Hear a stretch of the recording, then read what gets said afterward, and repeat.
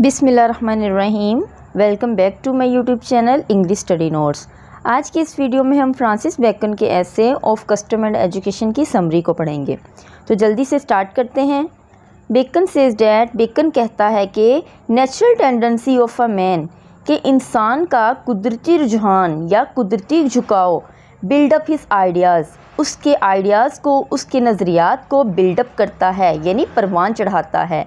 His talk is based on his knowledge and established opinion his talk यानी उसकी जो बातचीत है इज़ बेस्ड वो बेस करती है, यानी मुबनी है ऑन हिज नॉलेज उसके इल्म पर एंड इस्टेब्लिश्ड ओपिनियंस और उसकी तस्लीम शुदा जो राय हैं, उन पर।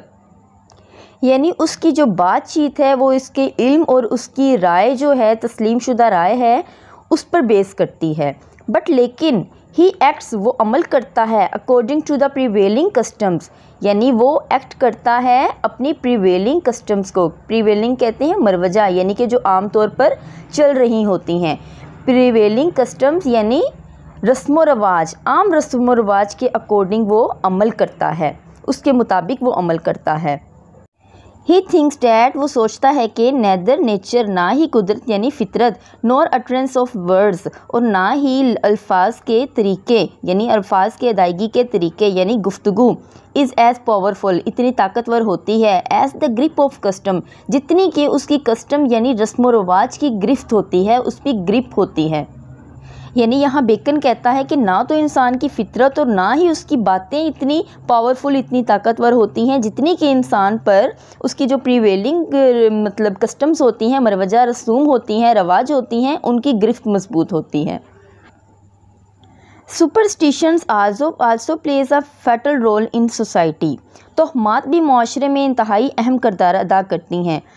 फाल्स रिलीजियस बिलीव्स, झूठे मजहबी अकायद, can numb even a sensible man, एक सेंसिबल मैन को नम कर देते हैं, यानी उसके हवास गुम कर देते हैं, उसके होश गुम कर देते हैं, उसको बिल्कुल सुन कर देते हैं, यानी उसकी अकल साकित कर देते हैं।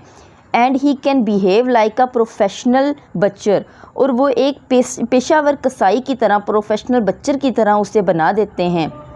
यानी यहाँ बिकन ये कहना चाह रहा है कि फ़ास्ट रिलीजियस बिलीव्स होते हैं जो झूठे मजहबी कायद इतने ताकतवर होते हैं, इतने पावरफुल होते हैं कि वो एक अच्छे खासे बाशूर शख्स की अकल साकत करके उसे पेशावर कसाई की तरह बना देते हैं। A man may take boastful oaths to do a certain act यानी कोई शख्स किसी काम को सरंजाम देने के लिए बोस्टफुल ओल्स यानी लंबे चौड़े दावे तो कर सकता है। बट लेकिन इवेंचुअली आखिरकार ही स्लेफ ऑफ़ कस्टम वो अपनी रस्म रवाज का, अपनी कस्टम्स का ग़ुलाम ही रहता है and can not escape from them और उनसे छुटकारा नहीं पा सकता और उनसे भाग नहीं सकता। Indian religious fanatics sacrifice their life by burning themselves alive यानी इंडिया के जो भारत के मजहबी जुनूनी ख़ुद को ज़िंदा जलाकर अपनी जान कुर्बान कर देते हैं। Their wives also try to be burn along with the dead bodies of their husbands और उनकी जो बीवियाँ होती हैं, भारतीयों की, वो भी शोहर की लाश के साथ ही खुद को ज़िंदा जला डालती हैं। The young man of Sparta Sparta के young man were in old times पुराने वक्तों में, कदीम वक्तों में accustomed to torture themselves वो ख़ुद को अजियतें देते हैं on the altar of Diana यानी चाँद की देवी डियाना की कुर्बान गाह पर without showing the least sign of shrinking back बगैर किसी हिचकिचाहट के यानी कदीम सपाटा में भी लोग चाँद की देवी डियाना की कुर्बान गाह पर बगैर किसी हिचकिचाहट के खुद को शदीद किस्म की अजियतें दिया करते थे।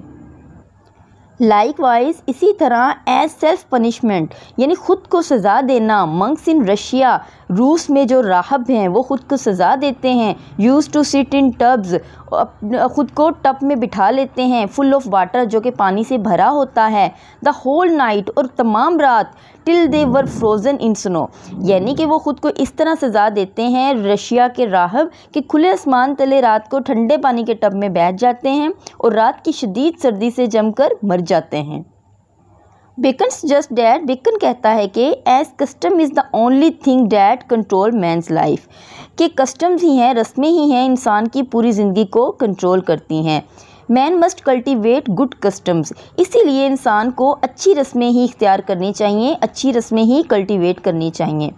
वी फेस कस्टम्स हम कस्टम्स का सामना करते हैं from the very beginning of our life अपनी ज़िंदगी के बहुत ही शुरुआती दिनों में।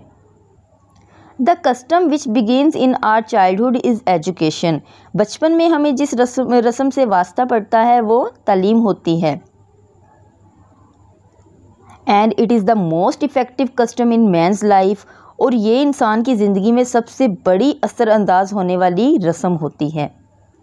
बेकन सेज डैड बेकन कहता है कि even parts of our body हती कि हमारे जिसम के हिस्से भी, हमारे जिसम के अज़ा भी गेट यूज़ टू कस्टम वो भी मतलब कस्टम्स की ही पैरवी करते हैं। A man follows a custom by emulating others emulating कहते हैं नकल करना, किसी की रीस करना इमिटेट करना।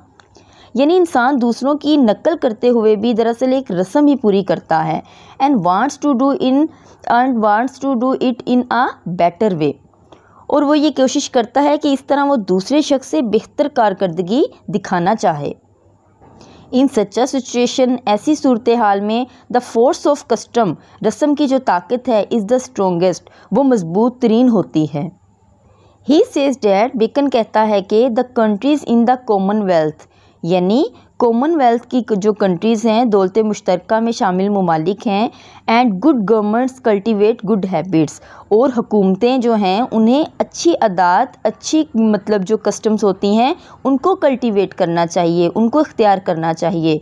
बट लेकिन दे डू नॉट ट्राई वो कोशिश नहीं करते टू इम्प्रूव इसलाह करने की द हैबिट्स ऑफ़ चिल्ड्रन अपने बच्चों की अदात की।